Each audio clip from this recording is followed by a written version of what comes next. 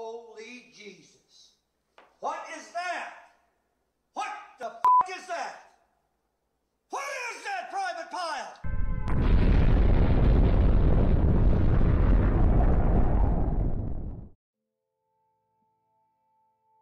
Pauli spinors, and spinors in general, are touted as incomprehensible, hard to visualize objects. And I'm here to show the world that Pauli spinors are actually quite understandable and are truly a result of geometry rather than quantum mechanics. As it turns out, the result I'm presenting in this video was covered in much more depth within a paper by the same authors that inspired my last video. So sadly, it turns out I'm not the first to stumble upon this approach. Nonetheless, I recommend you watch this video and check out the paper. It will be in the description. This video will be using a fair amount of geometric algebra, specifically the flavor known as the algebra of physical space. I will be giving a brief summary of it, as well as the plane-based view of this algebra, but I still recommend viewers to catch up on other videos if they find this subject unfamiliar. I have many videos linked in the description, many of them mine, many of them not mine. And even if you don't fully grasp every detail of geometric algebra, if you're learning about Pauli spinors, this video can still be very helpful for building your geometric intuition. Really, I recommend watching the video fully if you're trying to learn about Pauli spinors. And definitely give the video a thumbs up, even if you don't enjoy it. And subscribe. I know you want to. This video will be split into three main sections, a summary of geometric algebra, a section on plane bisectors, and a section using geometric algebra and bisectors to show what Pauli spinors truly are, and that they are therefore a result of geometry and not quantum mechanics. Without further ado, let's dive right into it. As mentioned before, I will be making use of the algebra of physical space, which I will refer to as the APS for short. It is the geometric algebra of three physical dimensions of space, and it is generated by three positive squaring vectors. So this geometric algebra, the APS, has a basis scalar, the number 1, three mutually orthogonal basis vectors, three mutually orthogonal basis bivectors, and a basis pseudoscalar, also called a trivector. It's common practice to write the pseudoscalar as i because it is isomorphic to the imaginary unit. We will see imaginary numbers in this video that are not the pseudoscalar, so I will color the pseudoscalar orange to differentiate it from the traditional imaginary unit. The scalar and vectors are unipotent, while the bivectors and pseudoscalar are anti-unipotent. Don't worry, my fellow Americans, these are not political orientations, but terms invented by the math goblins to make themselves happy. Unipotent literally means squaring to positive 1, and anti-unipotent means squaring to negative 1. I could just call them positive and negative squares, but I've got to prove that I went to university somehow. In the traditional point-based view, which is the view that everyone would learn in school during their vector mechanics courses, or online if they're cool, a vector represents an oriented line segment which conceptualizes a point or direction. Moving up a grade, a bivector represents an oriented plane segment which conceptualizes a plane of rotation or torque. The pseudoscalar also represents a directed volume, but that's not very important here. However, we will not be using the point-based view of geometric algebra. Instead, this video will be using the plane-based view of geometric algebra. I explained it in detail in my last video, but I will give a brief summary now. The vectors represent the planes orthogonal to the x direction, y direction, and z direction. These planes are not just segments, but planes that exist throughout the space. They are like this to allow for reflections using vectors. These reflections, as I talked about in my last video, build up any type of motion through reflection composition. This is the equation for reflecting a plane in any other plane. We will be using it a ton throughout this video, so make sure to commit it to memory. The bivectors now represent the intersections of the basis planes, and have an extrinsic orientation called helicity. It is worth noting that this helicity corresponds to orientation of the bivectors in the traditional point-based view. Like the planes, these intersection lines exist throughout the entirety of the space and are not just segments. Lastly, considering the intersection of the lines, the pseudoscalar is given. Note that this shows there is an origin in the space. This is a great bonus of using plane-based geometric algebra because there is an explicit origin in the math. Before moving on to the algebraic properties of the APS, I want to motivate the notation. I, like a few other people, use the sigma x, sigma y, and sigma z notation for the basis vectors. This is because their matrix representation is quite literally the Pauli sigma matrices. I will also use this fact later on in the video because it is very useful for shallowly explaining minimal left ideals and for relating the geometric algebra approach to the traditional approach. Now let us go over some algebra.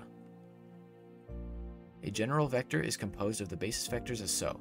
If it is normalized, then the coefficients must satisfy the normalization condition. Like a general vector, there is also a general bivector, which has similar normalization conditions. Having seen all this, I'm sure you're all violently mouthing off at me. Why would you show us vectors but not show us how to multiply them? For two vectors u and v, their geometric product is the sum of their inner and outer product. The inner product is identical to the well-known dot product, while the outer product is a generalization of the cross product. In the APS, it is equivalent by duality, but it has higher dimensional analogues unlike the cross product. Substituting in the trigonometric forms of these products, we can see that a pair of vectors multiplied together can be written in Euler form, where the unit bivector generated by the outer product acts like an imaginary unit, because it squares to negative 1. The general formula for rotating another object is then given by the sandwich product, where the square root of the vector product defines what is called a rotor.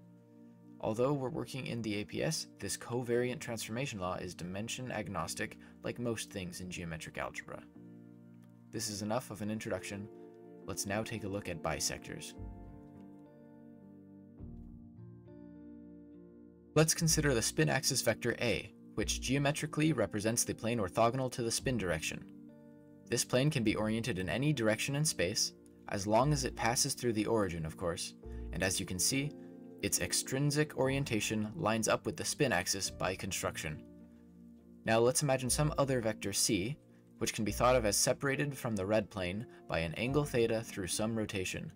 Because we are working in three-dimensional space, there will always be a way to look at the setup such that the planes look like lines, so for the rest of this video, we will proceed from this viewpoint. It will greatly ease the production of my budget PowerPoint animations, as well as improve its usefulness in teaching.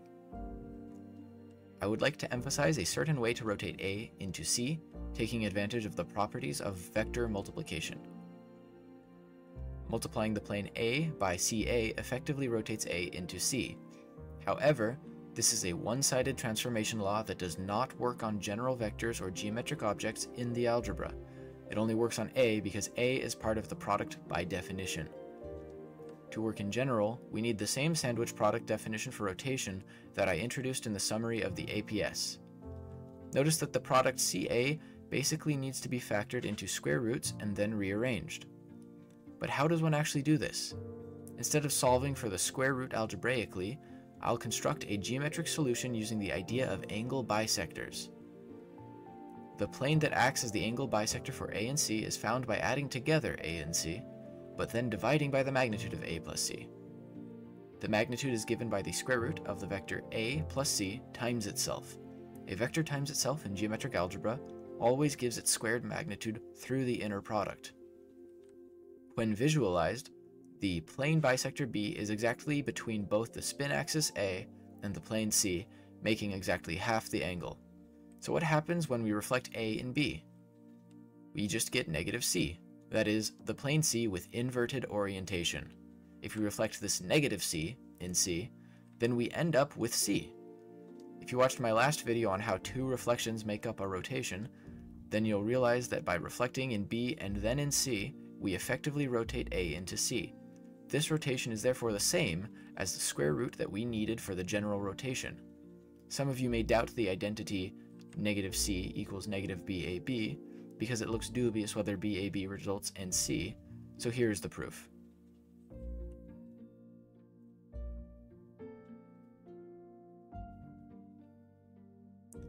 Let's now move on to spinors. There are two main definitions of a spinor.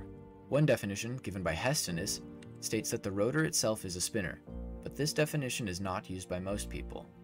So I will primarily cover the other definition, but it can be seen that the definitions are not so conceptually different when looking at them from the perspective of geometry. The definition that we will use is the following. A spinor is an element of a minimal left ideal of a Clifford algebra. For many new to the subject, and even to those in the subject, this can be a somewhat tough definition to unpack. In essence, a left ideal is a subset of the algebra that is closed and absorbs other elements of the algebra through leftwise multiplication. Practically speaking, this means that only one-sided transformation laws are needed to transform a spinor, whereas a normal element of the APS requires a sandwich product for an arbitrary transformation. Yet, how would we construct such an element in the APS? Here is where it helps to return to matrices even if just briefly. Recall that the basis vectors are equivalent to the Pauli matrices, so a general element of the APS can be represented by a matrix with complex entries. Now this is still not a Pauli spinor, but it will help us build one. Using the known mathematical form of a Pauli spinor as a Pauli matrix, we can identify matrices with objects in the APS. The matrix with the x's can be associated with the rotor R, because if we were to do the math and expand R in its matrix form, it would look like this matrix. But what is the second matrix with the single 1 in the top left index? It is called a projector because it projects the matrix directly to its left into a minimal left ideal. As you can see, an element of a minimal left ideal in the APS uses its matrix representation as an equivalent to a column vector, which is the traditional way to look at Pauli spinors. Also, it is vitally important to realize that the form of the spinor depends upon the spin axis being chosen as sigma z. But, in the APS, we can use this to find the form of such a projector. Suppose that we were to add 1 and sigma z and then divide by 2.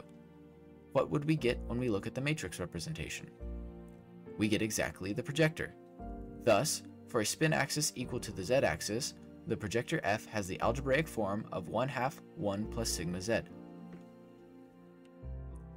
So for a general spin axis A, the projector that projects onto a minimal left ideal is 1 half 1 plus A.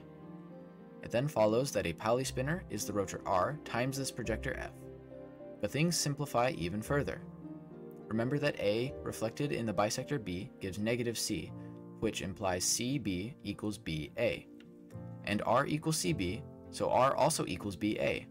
Thus, by the Packelmann property of projectors, that is, the property that a projector for a given spin axis absorbs that spin axis, the spinor simplifies to just the bisector B times F. The projector is essentially an algebraic trick and doesn't need to factor into the physical interpretation of the spinor. Due to this, the bisector B is itself the geometric object representing the Pauli spinor. Now, it might not be clear how a bisector can fully represent the concept of a Pauli spinor. There are two important properties that a spinor must satisfy. A spinor and its negative describe the same physical situation, and a spinor rotates half as much as a vector. Let us return to the picture of the spin axis plane, the c-plane, and the bisector plane. We'll keep the spin axis A fixed and rotate c as a small angle away from where it currently is, and we can continue doing this, adding up to 2 pi.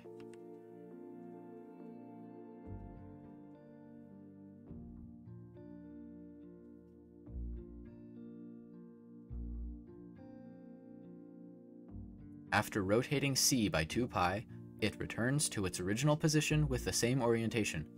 However, the bisector returned to its original position, but with the opposite orientation. This satisfies property 2, that spinors rotate half as much as vectors. But what about the first property, that both a spinor and its negative describe the same physical situation? This is easy to check. We know that reflecting A and B gives negative C, so what about reflecting A and negative B?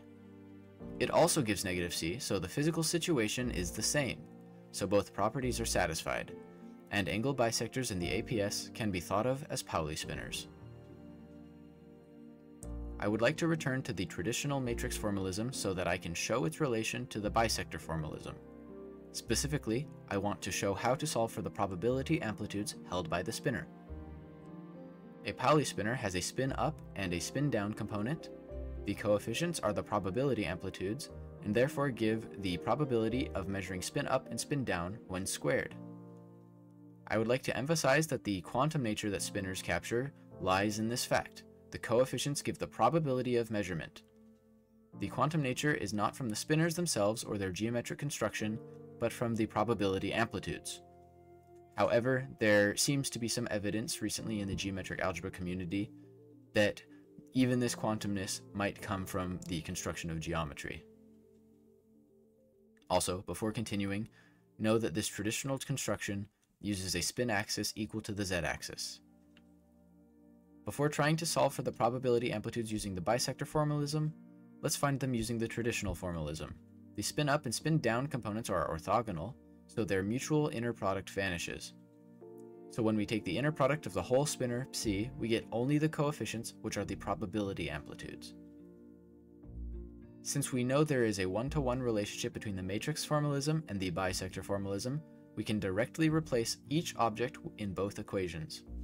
The inner product between the spin-up component with the Pauli spinor replaces the spin-up component with the projector, since they are equivalent, and the Pauli spinor made of the bisector replaces the Pauli spinor ket. A similar thing happens for the inner product between the spin-down component with the Pauli spinor ket. It doesn't use the same projector, but instead uses what I have labeled as f bar. The daggers denote the geometric algebra conjugation known as reversion, and are equivalent to the Hermitian conjugate used in the matrix formalism. The reverse conjugate operation simply swaps product order of any vectors within the object being conjugated. The reversion doesn't affect the spin up inner product, so let's expand that first.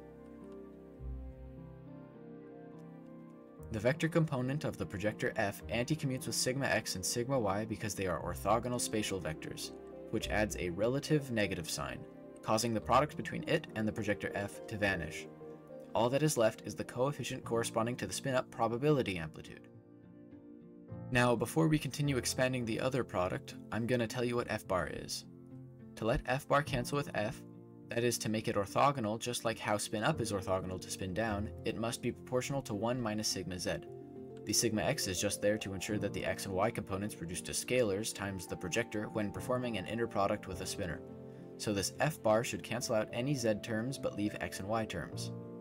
Expanding this, we find a complex coefficient corresponding to the spin down probability amplitude.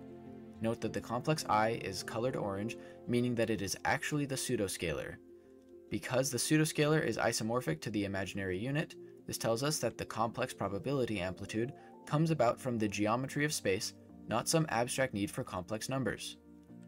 Moreover, note that because the angle bisector is a unit vector, the coefficients automatically satisfy the probability normalization conditions of quantum mechanics. As a summary, we reviewed geometric algebra, specifically the APS, we constructed angle bisectors in the plane-based view of geometry, and lastly, we showed that bisectors satisfy the properties of spinors, that the Hestenes definition of spinors is related to the definition as the element of a minimal left ideal, and that the spin measurement probability amplitudes can be calculated from the bisector. I know that spinors are a complicated topic, and I hope that I was able to make it a little easier. Geometric algebra definitely aided the interpretation and construction of spinors, and I firmly believe that it will continue helping in this regard. Whenever I find good applications of geometric algebra, whether through literature or by myself, I plan to make videos of them in time. If you enjoyed this video, please prove it by liking and subscribing so I know that I'm not talking to the void. Feel free to comment and ask questions, and make sure to check out the links in the description.